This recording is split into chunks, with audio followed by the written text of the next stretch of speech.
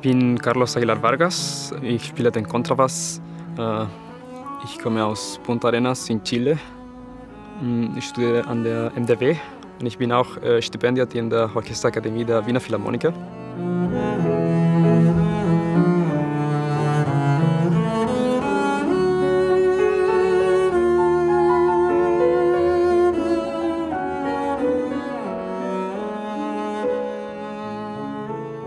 Schon als Kind hat mich äh, der Klang von dem Kontrabass äh, fasziniert.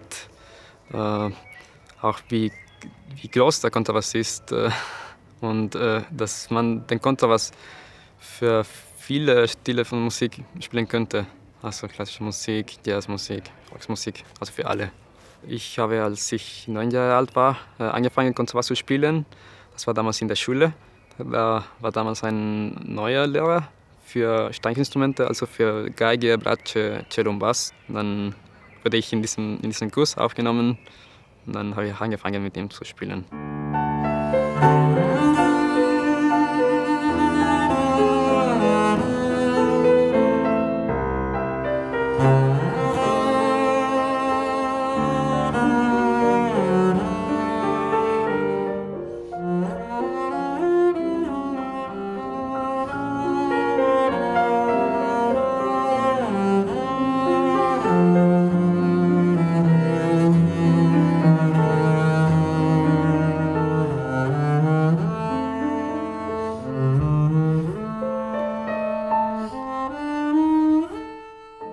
Also die Orchesterakademie der Wiener Philharmoniker ist äh, ein Kurs, der dauert zwei Jahre und es besteht aus Unterrichten mit den, äh, mit den Solisten. Wir können auch mit dem Orchester spielen, also in Tourneen, in Konzerten, in Aufnahmen.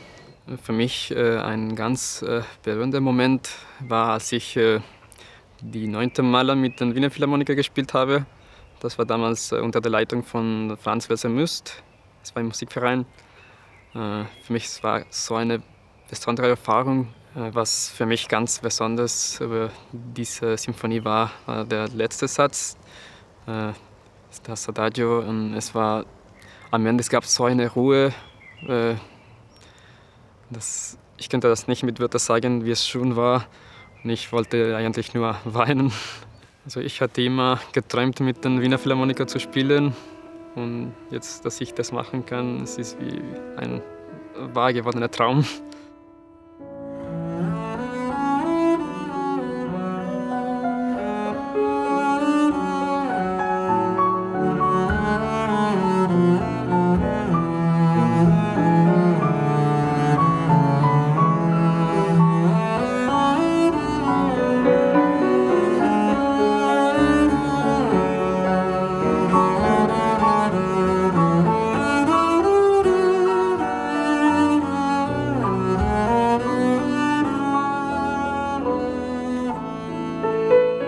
Ich habe dieses Stück ausgewählt, weil Intermezzo ist eine der, der schönsten Melodien, die es von den Kontrabass gibt. Äh, auch Clear hat äh, noch drei andere äh, Stücke für den Kontrabass komponiert.